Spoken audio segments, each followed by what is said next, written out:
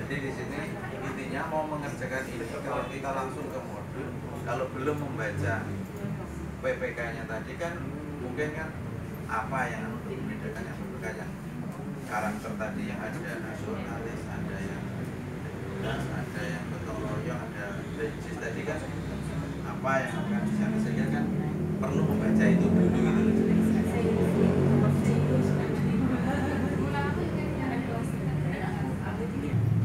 Ini kan ada ada kegiatan karakter toh, nah, nilai karakternya apa kan gitu nah karakter itu kan kita perlu lihat di PPK tadi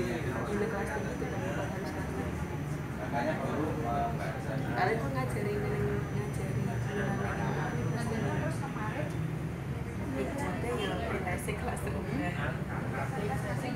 Ada